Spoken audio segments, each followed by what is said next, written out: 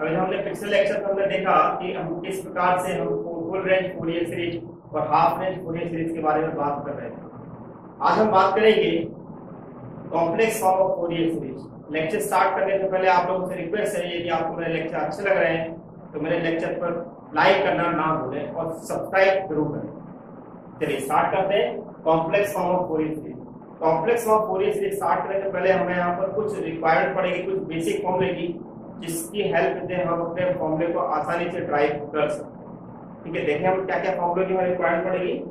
तो पहला हमारे पास हम यहाँ पर ये है कि अगर कहीं पर अगर हमें e to the power a i x अगर हमें लिखना है, इसका मीनिंग क्या निकाला जाएगा?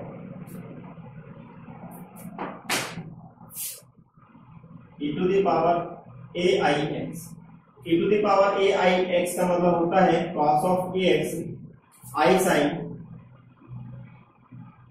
a x और e to the power minus a i x का मतलब होता है cos of ax minus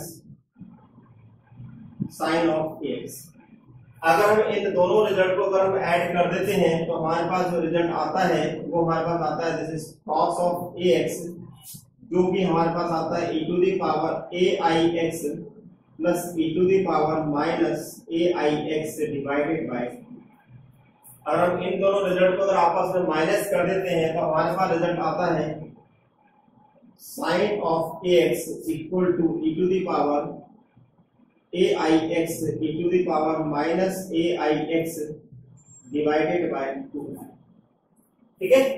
इन फॉर्मूले की हमें रिक्वायरमेंट पढ़ने वाली है। हम क्या करेंगे कि पूरी फोरियर सीरीज़ को हम यानी कि फुल रेंज फोरियर सीरीज़ को हम कन्वर्ट करेंगे।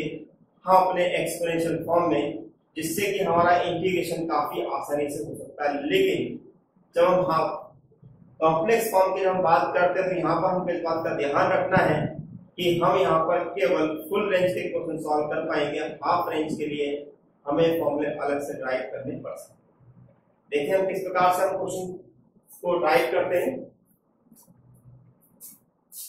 We know that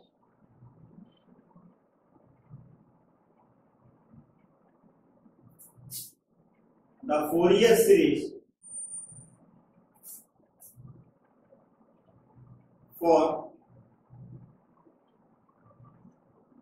period 2s is हैं हम this is f of x equal to a zero by two plus summation n equal to one से infinity a n cos n pi x upon n plus summation n equal to one से infinity b n sine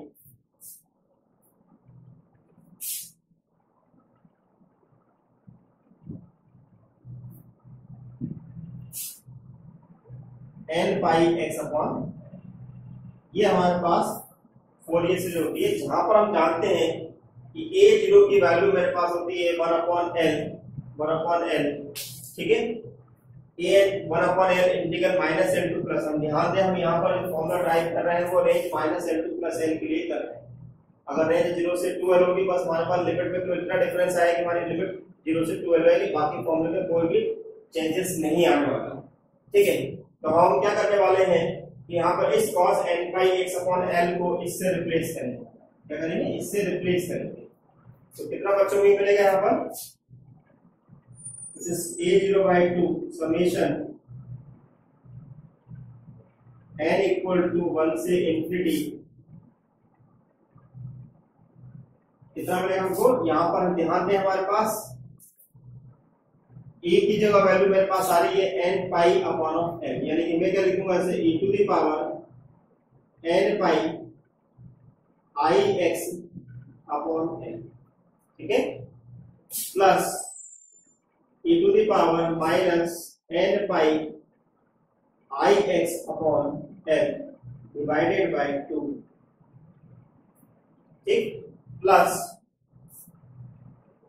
summation n equal to one से infinity b N अगर sine की ओर लिखना चाहते तो कितना लिखाएगा हमारे पास? e to the power e to the power n pi x upon l minus e to the power minus n pi x upon l whole divided by 2i ठीक है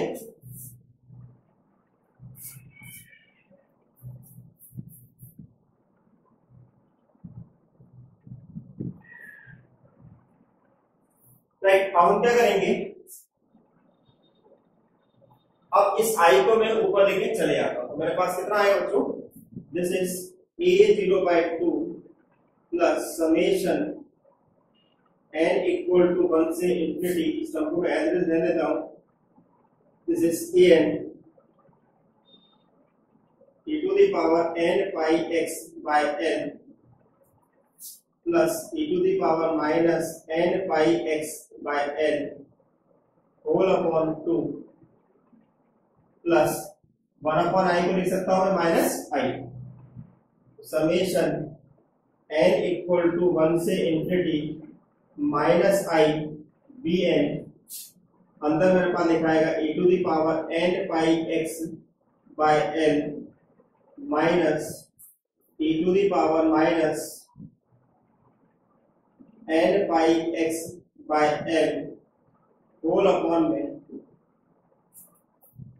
आउट टर्म को यहाँ पर कंबाइन कर रहे हैं combine कर रहे हैं हमारे पास क्या है? आप देखेंगे e to the power n पाई x अपॉन n, यहाँ पर भी टू दी पावर n पाई x अपॉन n यहाँ है। तो हम क्या करेंगे? इस टर्म को हम बाहर निकाल देंगे। तो यहाँ पर कितना हो जाएगा this is a zero by two plus summation n equal to one से infinity a n minus i b n divided by 2 into e to the power n pi x upon n. Second term की बात करें तो minus minus ही हो जाएगा plus तो मेरे को मिलेगा यहाँ पर plus a n plus i b n divided by two into e to the power minus n pi x upon ठीक है? इस तरह से मुझे ये वैल्यू मिल गई। अब हम क्या करते हैं? इसको मान लेते हैं कि ये मेरे पास सी एन है और इसको मान लेते हैं कि ये मेरे पास है माइनस सी तो ओवरऑल मेरे पास रिज़ल्ट क्या होगा? देखिए। और इसको मान लेते हैं कि ये मेरे पास सी नॉट है। तो मेरे पास एफ़ ऑफ़ एक्स क्या होगा? This is f of x equal to c not first term मेरे पास हो गई। This is summation n equal to one से infinity and this is c n e to the power e to the power n पाई x अपॉन l plus summation n equal to one से infinity और ये मेरे पास बन गया c minus n e to the power e to minus n pi x by n. आप ध्यान से देखिएगा, यहाँ पर मैंने जो वैल्यू लिखी थी मालूम है, n इक्वल टू अगर 1 2 3 का इंफिनिटी तो यहाँ पे क्या मिलेगा मुझे? 1 2 3 इंफिनिटी लेकिन जैसे मैं यहाँ पर n इक्वल टू 1 रखता हूँ तो यहाँ पे मेरे को मिलेगा c 1 तो मेरी वैल्यू जो है मेरे पास, वो माइनस वन से लेके इंफिनिटी की तरफ़ अप्रोच करेगी और ये वैल्यू मेरे पास ज़ीरो है तो ओवरऑल हम चाहें इस पूरे रिज़ल्ट को कुछ ऐसा लिख सकते हैं। n equal to minus infinity से plus infinity this is c n e to the power n by x by n ठीक है? थोड़ा इस चीज़ को ध्यान समझ लीजिए कि मैं यहाँ पर कहना क्या चाह रहा हूँ। मान लीजिए, जैसे मैंने स्टार्ट किया वैल्यू माइनस इन्फिनिटी रखना स्टार्ट किया तो कितना बोलेगा माइनस इन्फिनिटी ये मैंने बोला कि minus five minus five minus four minus three minus two minus one ठीक है? तो वो सारी वैल्यू मुझे ये देगा। कौन देगा ये? ये देगा। तो इसमें एन की वैल्यू मैं नेगेटिव वैल्यू रखता हूँ अब उसके बाद मैंने जैसे वैल्यू ज़ीरो रखी तो वैल्यू ये क्या मिलेगी मेरे पास? जैसे रखा c zero e to the power zero कितना हो गया यानी कि वैल्यू मिलेगी ये वाली। इसके बाद जैसे मैंने यानी कोई पॉजिटिव वैल्यू रखना स्टार्ट की तो मेरी वैल्यू मिलेगी यहाँ से वन टू थ्री इसलिए मैंने इस पूरे ओवरऑल रिज़ल्ट को n equal to minus infinity से plus infinity c n to the power n पाई एक्स अपॉन n लिख दिया। तो ये मेरे पास आगे चल के हम इसी फॉर्मूले को हाफ़ फोरी कॉम्प्लेक्स फोरियर सीरीज़ के नाम से जानेंगे। अब सवाल ये उठता है कि मेरे पास सी एन की वैल्यू होगी क्या? ठीक है? देखिए, अब सी एन की वैल्यू किस प्रकार से निकालते हैं।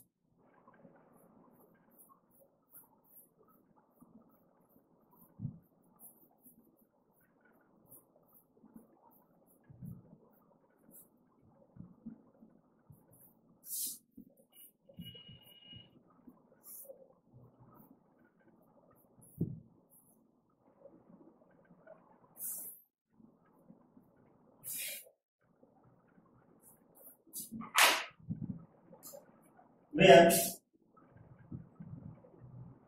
where c0 equal to a0 by 2 cn equal to an minus ibn divided by 2 or c minus n equal to an plus i bn upon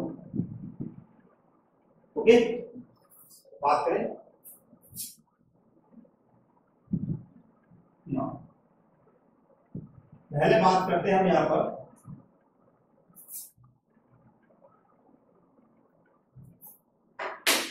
C N A N के बारे में।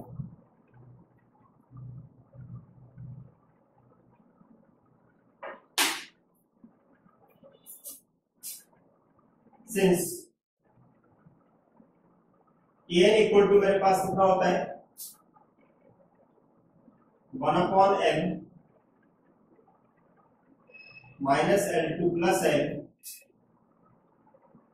f of x cos l by x by l dx b n कितना होता है? One upon l minus l to plus l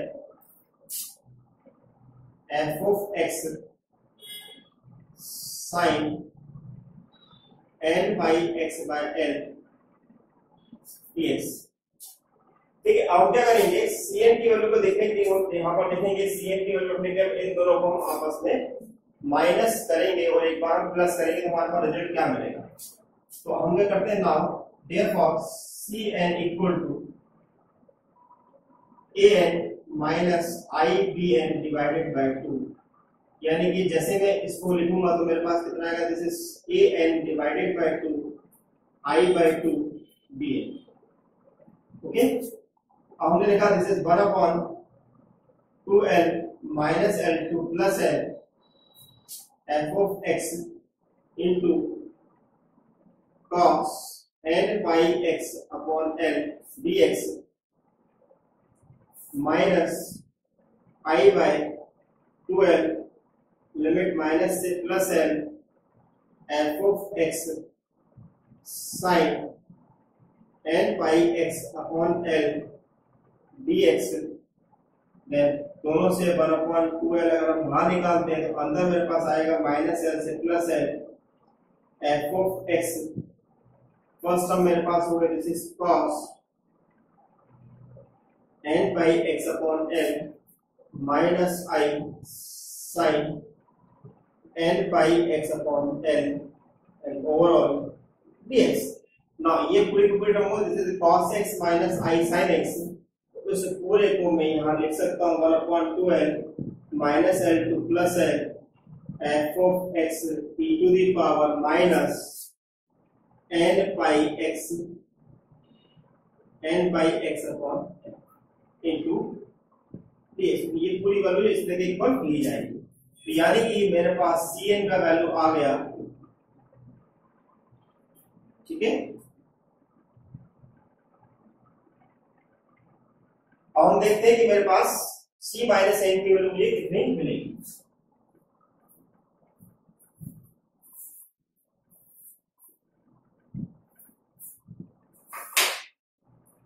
and c minus अब c n c minus n की value मेरे पास कितनी थी? One upon two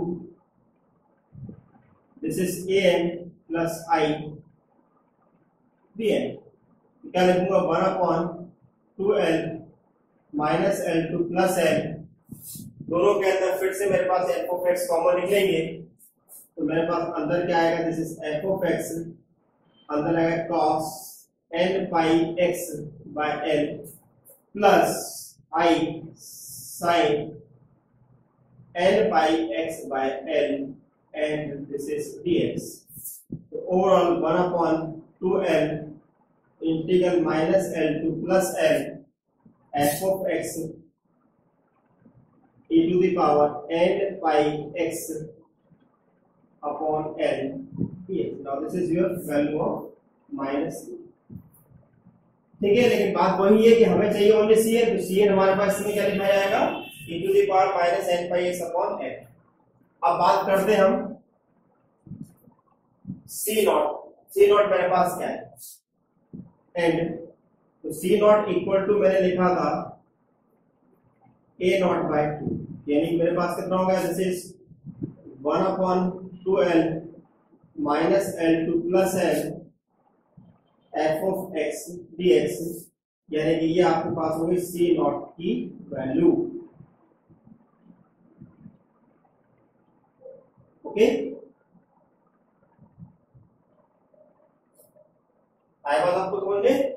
इस प्रकार से हमारे पास हम किसी भी फोरियर सीरीज़ को, यानी कि फुल रेंज फोरियर सीरीज़ को हम कन्वर्ट कर सकते हैं complex Fourier form complex form of Fourier series की फॉर्म ठीक है, अब हम देखते हैं कि हमको ऐसे किन किन रिज़ल्ट की रिक्वायरमेंट पड़ने वाली है क्वेश्चन को सॉल्व करते समय, जिससे कि हम बड़ी आसानी से अपने क्वेश्चन को सॉल्व कर सकते हैं। ठीक है तो देखें कुछ रिज़ल्ट यहाँ पर।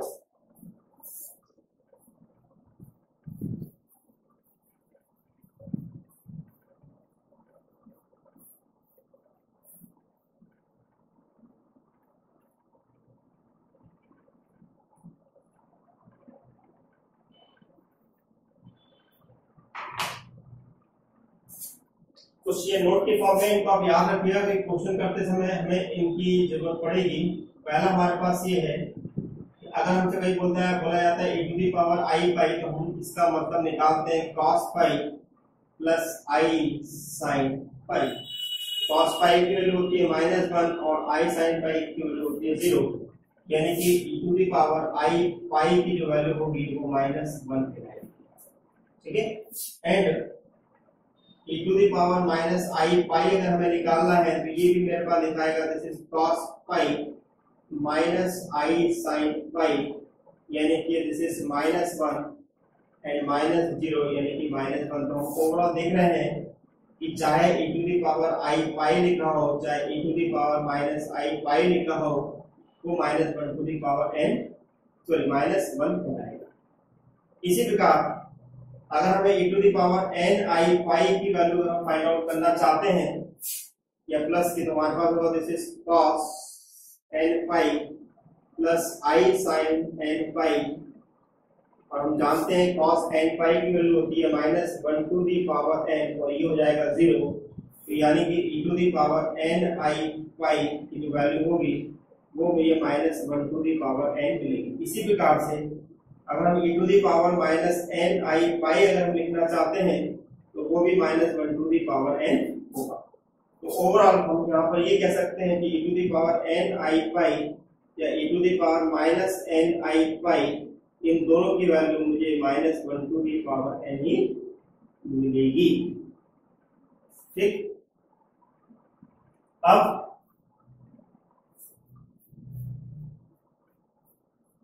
ठीक है, समझ में आ रहा है आप लोगों को? तो एक बार फिर समझते हैं हमारे पास। e to the power i pi का मतलब हो? गया cos pi plus i sin pi sin pi की वैल्यू होती है ज़ीरो cos पाई की वैल्यू होती है माइनस वन तो हमें मिलेगा माइनस वन प्लस ज़ीरो इसी प्रकार हम e to the power minus i pi निकालते तो वो भी हमको मिलेगा माइनस वन तो हमने हमारा कहने का मतलब e to the power i pi निकालो। या e to the power minus i pi निकालो, उन दोनों की वैल्यू हमें माइनस वन ही मिलेगी। अगर हम e to the power n i pi निकालना चाहते हैं तो cos n pi plus i sin n pi लिखेंगे। sin n पाई फिर से हमारा ज़ीरो होता है, cos n पाई की वैल्यू होती है minus one to the power n, यानी e to the power n pi i की वैल्यू होगी minus one to the power n similarly अगर हम e to the power minus n i pi निकालेंगे तो वो minus one to the power n हमें मिलेगा। इसके अलावा हमारे पास कुछ और भी रिज़ल्ट हमारे पास यूज़ होते हैं कि अगर आपसे बोला जाता है कि टू एन पाई आई निकालिए तो इसकी वैल्यू मेरे पास लिख सकते हैं this is e to the power n pi i का स्क्वायर ठीक है? A to the power n pi i का स्क्वायर हमारे पास कितना हो गया? This is minus one to the power n का होल स्क्वायर हम लिख सकते हैं माइनस वन का square to the power n तो डेफिनेटली ये वैल्यू मेरे पास कहलाएगी, बस। इसी प्रकार e to the power two n pi i यानी कि माइनस होगा तब भी मुझे वन मिलेगा तो हम यहाँ पर दोनों को मिला के कह सकते हैं e to the power two n pi i या e to the power minus two n pi i दोनों वन रखे जाएँगे। ओके फोर्थ पॉइंट हमारे पास ये है कि अगर हमें साइन हाइपरबोलिक या कॉस हाइपरबोलिक अगर हमें यूज़ करना है तो साइन हाइपरबोलिक ए एक्स की वैल्यू मेरे पास लिखाती है। E the power a x e the power minus a x upon two और cos ए एक्स की वैल्यू लिख सकते हैं e the power a x plus e power minus a x upon तो डियर फ्रेंड्स आज हमने derivation पढ़ा complex form of Fourier series का, जिसमें हमने सीखा कि किस प्रकार से हम फुल रेंज फोरियर सीरीज़ को हम हाफ़ रेंज में कर sorry full range Fourier series को हम complex form of Fourier series में बदल सकते हैं। और साथ में हमने ये भी देखा कि हमें किन किन ऐसे रिज़ल्ट की रिक्वायरमेंट पड़ेगी, जहाँ पर हमें इनको डायरेक्ट हमें वैल्यू रखनी पड़ेगी। तो हमें थोड़ा सा ध्यान रखना है। वैसे तो पता है, लेकिन फिर भी हमने यहाँ पर आपका रिविजन करा दिया नेक्स्ट लेक्चर में हम देखेंगे कि इनके बेस्ड क्वेश्चन हम किस प्रकार से सॉल्व करते हैं। आपने एक चीज़ यहाँ पर देखी होगी कि हमने जो भी हमने यहाँ पर सी ज़ीरो निकाला हुआ है या सी ए निकाला हुआ है तो हमको इस बात का ध्यान रखना है कि जब भी अगर हम complex form of Fourier series निकाल रहे हैं, और अगर डिनोमिनेटर में केवल हमारे पास सिंगल एन आता है तो आप ध्यान रखेंगे कि एन इक्वल टू ज़ीरो पर हमें वो वैल्यू अलग से फाइंड आउट करनी पड़ेगी। कैसे निकालेंगे, किस प्रकार से निकालेंगे, हम ये नेक्स्ट लेक्चर में आपसे आपको बताएँगे। ठीक है? अगर आपको मेरे लेक्चर अच्छे लग रहे हैं तो चैनल को सब्सक्राइब और शेयर करना ना भूले और लाइक करना भी नहीं भूल रहे ठीक है? Thank you for watching my lecture